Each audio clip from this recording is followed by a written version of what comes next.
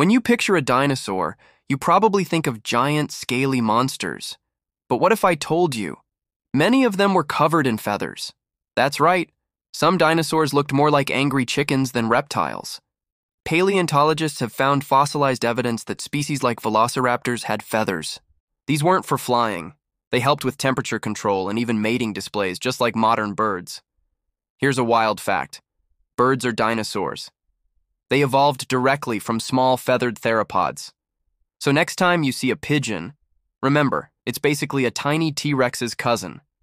Meet the Argentinosaurus, the biggest dinosaur ever discovered. It stretched over 100 feet long and weighed as much as 15 elephants.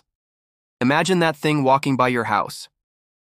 While the Tyrannosaurus rex was a fearsome predator, studies show it might have been a caring parent. Fossils suggest they stayed near nests, possibly guarding eggs and young ones. Dinosaurs were more diverse, colorful, and strange than we ever imagined.